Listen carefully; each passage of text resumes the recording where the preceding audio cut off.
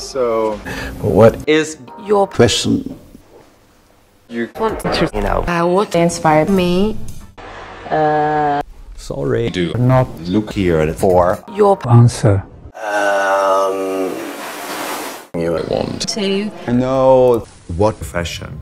is about This season that the real question is uh, what will remain when this season is over listen I would rather talk about what is after?